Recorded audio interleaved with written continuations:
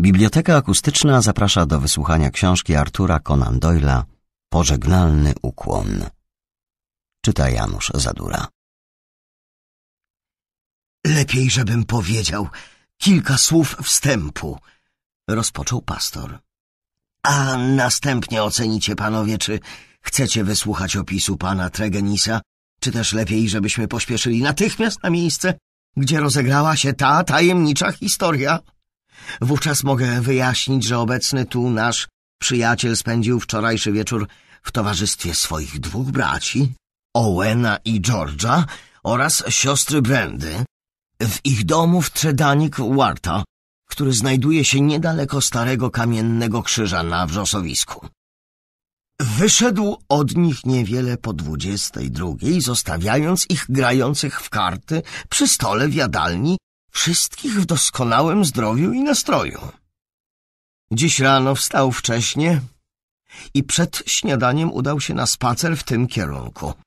Dogonił go powóz doktora Richardsa, który wyjaśnił, że posłano po niego do niecierpiącej zwłoki sprawy Tredani Quarta. Pan Mortimer Tregenis oczywiście wsiadł do jego powozu, aby mu towarzyszyć w tej podróży. Kiedy przybyli do Tredani Quarta, zastali tam niezwykłą sytuację. Dwaj bracia i siostra siedzieli przy stole dokładnie tak, jak ich zostawił, z kartami nadal przed sobą, a świecami wypalonymi do cna.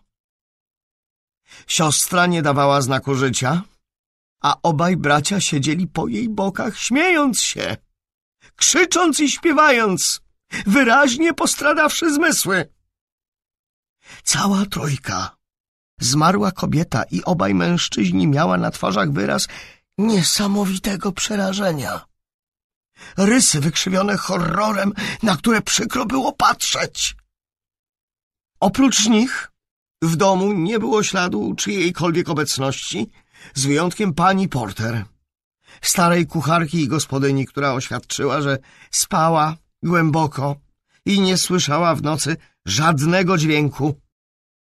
Nie ukradziono niczego, ani niczego nie rozrzucono.